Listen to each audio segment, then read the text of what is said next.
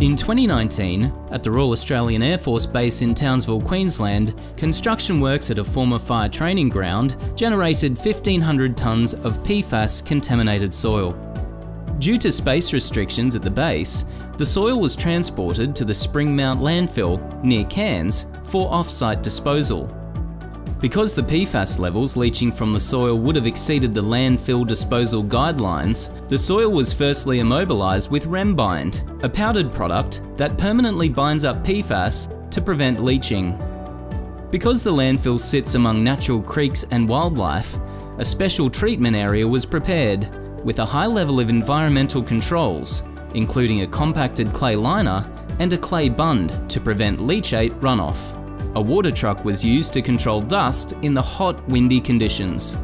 Soil Cyclers, a preferred mixing contractor for the Rembind product in Australia, was engaged to prepare the soil and thoroughly mix the Rembind using mobile trommel screens. The first part of the process involved mixing the Rembind product with the contaminated soil using an excavator at an addition rate of 2%. Water sprays were used to suppress dust. The pre-mixed soil was then fed into a mobile trommel screen for thorough mixing and removal of oversized material. The oversized material contained plastic waste and rocks. The rocks were washed and reused on site, and the plastic was sorted and recycled. Water was added to the treated soil to start the fixation process. After a period of 24 hours, validation samples were collected and sent to an accredited laboratory for analysis. Results showed that the PFAS leachability was reduced by more than 99% and met the stringent landfill disposal criteria.